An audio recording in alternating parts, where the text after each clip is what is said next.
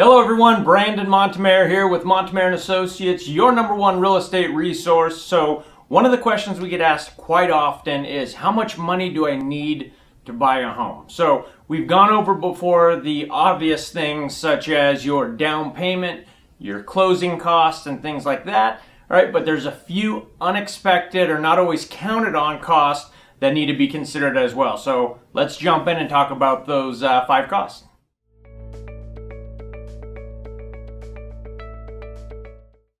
All right, so again, you have your typical things when you're buying a home. Your down payment, which can be anywhere from 0% down if you have a VA loan to 3.5% down uh, as a VA, 5, 10, 20%, and so on. So, and then you have your closing costs, which can vary depending on what type of loan, what the purchase price is, and we can go over details on that. But five things to consider throughout the process and even after that you should sock money away for and count on spending money on and uh, that way you're 100% prepared. So number one is the appraisal, all right? So that comes in during the transaction, right? And that's through the lender, but those appraisals can be anywhere from four to $600, sometimes a little bit more.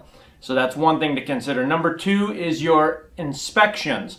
Your uh, home inspection can range anywhere from three, four hundred dollars to seven, eight hundred dollars or more, depending on the size of the house. If there's a pool and spa, or any other items in the house that need to be inspected specifically. You have your termite inspection, which can be anywhere from 85 to $100, again, depending on the size of the house.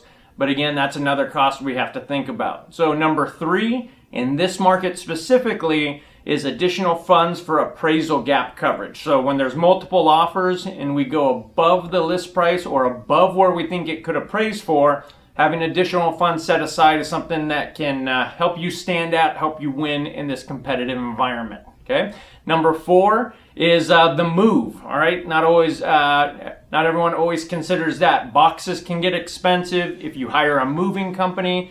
That's something that can get expensive as well. We have some great resources for both of those things if you need it. But again, put away some money for the move. And then finally, the immediate costs that you run into after the close of escrow, such as deposits to get utilities set up, uh, installing TVs, security systems, having a locksmith come out and change uh, the keys to the doors, basic maintenance around the house that you need to get done that you found from the home inspection so the house is in good working order, like changing filters or whatever it may be, so your house stays in tip-top shape and holds its value. So there you go, five things additional to consider beyond your down payment and closing costs. If you have any questions, you know where to find us. Have a great day and we'll talk to you soon.